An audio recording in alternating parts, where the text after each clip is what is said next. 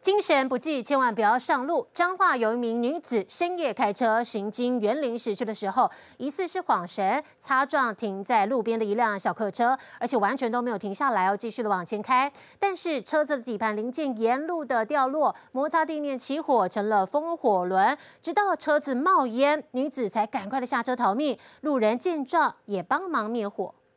监视器画面拍下银色小轿车车子，除了前面两个头灯，怎么底盘还不断发光？竟然是底盘冒出火花，零件摩擦路面，火越烧越旺，驾驶却完全没有反应，继续往前开，直到车子冒烟，驾驶受不了才开车门下车逃命。就怕火势烧起来，附近民众赶紧拿出灭火器帮忙灭火，消防人员也随后赶到现场扑灭火势。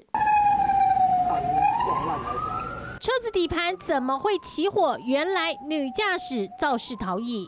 我都唔知，我等囡仔，囡仔伫对面要过来啊，我伊就甲我怎弄的啊？他开很快吗？系啊，足紧的叽叽叽叫，我听到叽叽叫弄，我就讲伊啊。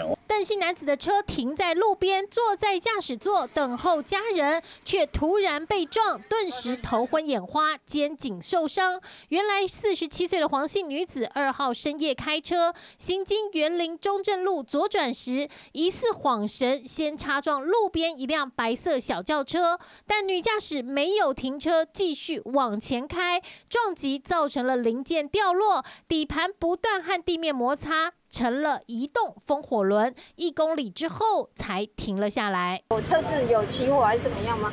车子有什么状况吗？就后来就好像开的不顺了，开的不顺，我不知道有起火，后来就慢慢冒烟。